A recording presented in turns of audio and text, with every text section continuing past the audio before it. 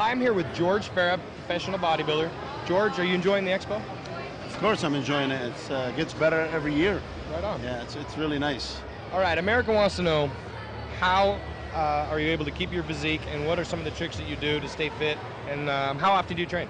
Well, you know what it is? It's really, people got to understand that it's mostly dieting. I mean, I took about three months of, you know, of, of the gym off completely, didn't train, didn't touch the weight, but I kept my diet really intact, did some cardio, and I was able to keep, you know, keep going and guest posing, and everybody loves my shape and stuff. So really, like, people got to learn, man. It's it's diet, diet, diet. They keep saying that, you know.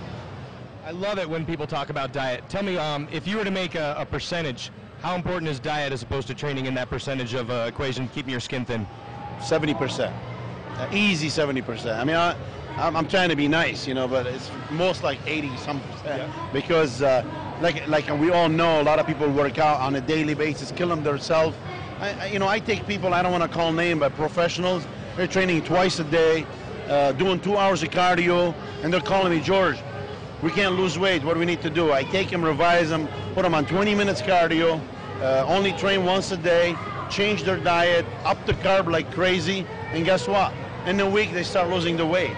So, you know what I mean? People seem to overdo it in the workout, and they forget the nutrition is the big part.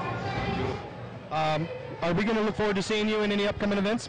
Definitely. You know, like now, as you know, I have eight people at the Olympia, so I'm trying to focus on them as you guys all see, Branch Warren is the first call out, just like what I predict.